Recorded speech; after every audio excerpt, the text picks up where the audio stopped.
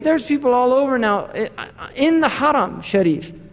السلام عليكم كيف الحال ما شاء الله الحمد لله والله في خير يا أخي في نعمة احنا قدام بيت الله الحمد لله والله I was in Mecca, uh, Medina and this one man pulls out and said الحمد لله كيف الحال بخير الحمد لله احنا عند النبي صلى الله عليه وسلم الله يبارك فيك طيب يا أخي خلينا يعني we don't need to hear it Give me a break. How are you? You know, make the co- coffee hot by the time I get there. What, what are you going to say? What's so important? Really, what's so important? What is so important? I, I, I mean, I'm asking myself that question. What is so important? Even the Christians turn off those things when they go into their churches. My God, even the Christians turn off those things when they go into their churches. I mean, really, what, what, what's, what happened to this ummah? La ilaha illallah. Really, I'm, I'm, I'm, there's no exaggeration there. What happened to us that we have forgotten? I mean, the Jahili Arabs had a sense of the awe of the Kaaba. The Ummah, Umar radiallahu if he heard a voice raised in the masjid of the Messenger of Allah, he went with his stick to warn them that the hurma of the, Allah's Messenger after his, his life is the same as when he was walking amongst us. There's no difference. لا ترفعوا أصواتكم فوق صوت النبي. Don't raise your voices over the voice of the Prophet. What is it to talk on a telephone? To, why?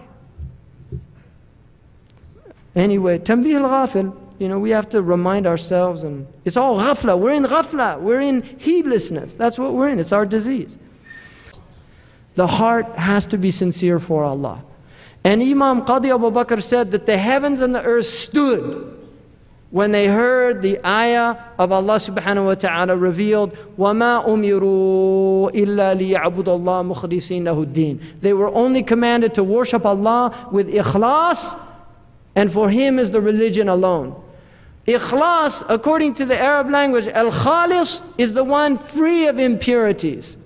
And one of the extraordinary things about the Arabic language is the word fitna, which means tribulation. Fitna means to test gold for alloys. It means to test gold for impurities. So the reason Allah gives us fitan is to see who is pure and who's impure. Because fitna reveals everything.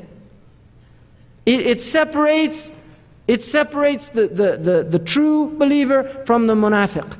And, and uh, the head of the munafiqeen in Medina used to get up after every Jummah and say, This is the last messenger of Allah. We have to give him victory. We have to give him strength. He used to do that after every Jummah. He'd get up and he'd start boasting and saying, Get out there and let's support this man. And then when, when the tribulation came, I, I have to go back to Medina. You didn't listen to my opinion. He starts making excuses. And this is what happened. And the amazing thing, and I've said this before, the amazing thing to me about the Muslims is when the fitna comes, people that have been sitting around like couch potatoes, watching life go by, suddenly become the most active people of the community. Calling up people, calling up, did you know he said this and that, and he and and this happened and that happened, and we have to do something about it, and let's get rid of that person, and let's do this. Really, writing letters, emails, faxes, money. Why? Because now they have an opportunity to, to reveal their nature, to show you who they are. They're people that have fitna in their hearts. And that's why when the fitna comes, they're the ones that get out there and do all the damage. And those people are the people that when Islam is strong, they have no voice. Because the, the children of Medina, according to the Messenger of Allah, if the Dajjal came, right, they said the children of Medina would chase him away with sandals. That's a Muslim, that's a society that's not in ghafla because the Dajjal, his strength is heedlessness. Everybody's in heedlessness. Because la yakhruj dajjal illa an dhuhla. He only comes out when everybody's in heedlessness. And, and, this, is, this is what we have to guard ourselves from constantly is ghafla. Imam al-Junayd said, the root disease the root, they, they differ. The, the people of the heart differ about what the root disease is. But Imam al Junaid said the root disease is ghafla. That is the root disease of the human heart, is heedlessness.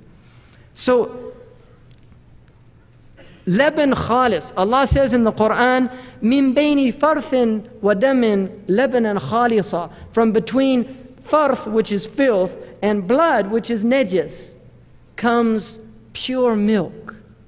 It's something extraordinary in this ayah because one, I mean, there's a scientific miracle uh, that was pointed out by Maurice Bucaille and others, but there's another important ishara here, and that is the nature of the mukhlis is that he is constantly surrounded by people who are not pure. They're impure. And in order to maintain his ikhlas and his sincerity to Allah subhanahu wa ta'ala, he has to be vigilant. He has to guard himself.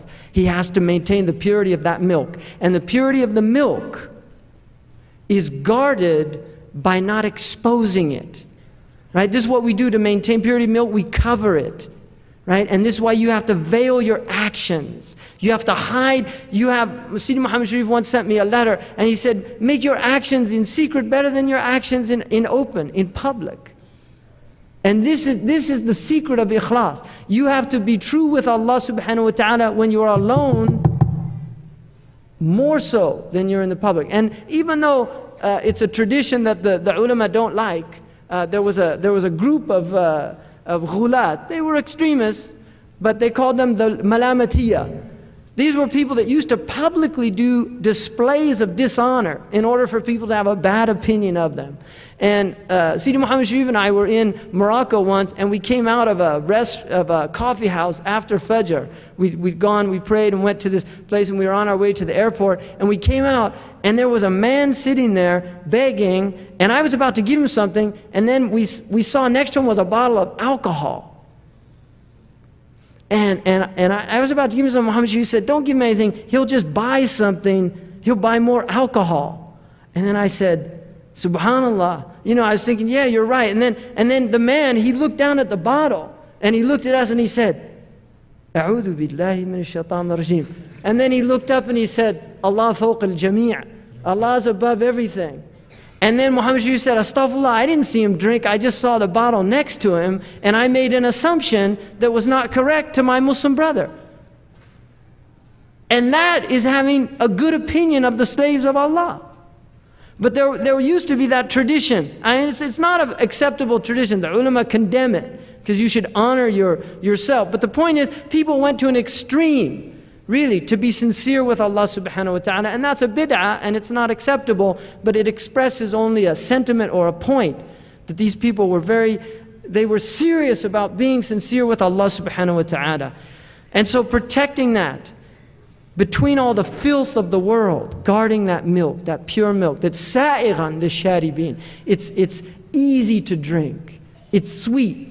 And that's why the mu'min, when, when, when, people, uh, when people mix with the mu'min, they love the mu'min because the mu'min is sweet. The Prophet said, Al-mu'minu hayyinun layyinun. He's gentle, he's sweet, his nature is good. The Prophet said, people were rude to him. The desert Arabs were rude to him. And he never returned their rudeness with rudeness. He smiled in their faces. He returned their bad manners with good character. And this is what he taught us to do with people. And, and we have to, it's mujahada, we have to struggle. The, the, the, the, the, the, sabr is in sadmat al-ula. Patience, when, when the, the woman who was in the graveyard, and, and, and she was mourning over, and the Messenger of Allah passed by her, and he, and he said, that uh, this is a musibah and you should be patient. And she said, You didn't have the tribulation that I had. That's how she answered him. And he just left her. Now look at the character there. He didn't say, Don't you know who I am? I'm the messenger of Allah. You can't talk to me like that. He didn't say that. He saw she was mus- she musab. She was in tribulation. He left her to be in her tribulation. He gave her nasiha and she didn't accept it, but he recognized her psychological state. She was in a state that it was not useful or beneficial to continue with her, and so he left her. I, this is wisdom. This is hikmah. And then he went to his house and somebody came by and he, and, and he said, Don't you know who that was? That was the messenger of Allah. Suddenly remorse entered her heart. Astaghfirullah. And she went to his house and knocked on the door. Ya Rasulullah, I didn't know it was you. And the messenger of Allah said, Patience is in the first calamity, when the first thing hits. That's when, in other words, it, when the calamity hits, patience that Allah wants is at that point. That's the point Allah does not want you to lose control. That's the point to take. It's not when it's all over you say, Oh, please forgive me. I didn't mean to punch you after you said that to me. You know, I'm sorry. No, it's to, to stop. I'm not going to punch him. Right? I'm not going to do that. I'm not going to engage. I'm not. And that is mujahada. That is learning to suppress the nafs for the sake of Allah subhanahu wa ta'ala. Because we're here for Allah. We're not here for, and this is ikhlas, to do it for Allah's sake. Really, to do this for Allah's sake to forgive your brother for Allah's sake, to forgive your sister for Allah's sake, not for them, to do it for Allah subhanahu wa ta'ala. Really, there's people in here that haven't talked to their brother or their sister, or some of them to their mothers and their fathers. Don't be that person. Don't cut off your bloodship bonds. Don't be that person. Do it for the sake of Allah. And a man came to the Messenger of Allah. He said, Ya Rasulullah, yaqta'uni, u'tihi wa yamna'uni. Uwasiluhu wa la yuwasiluhu. I give him, he withholds. I come to him, he cuts me off. What should I do? He said, That is Silat al-Rahm. That what you're doing is the right thing and continue to do it even though he's cutting you off. That's Islam. That's Islam. And it's hard. Don't think this is an easy religion. We want to be people that make mujahada. We want to be people that honor ourselves because Allah has honored us when He said, لَقَدْ كَرَّمْنَا بَنِي Adam. We have ennobled Bani Adam. We have made you great people. We gave you a heart. We gave you intellect.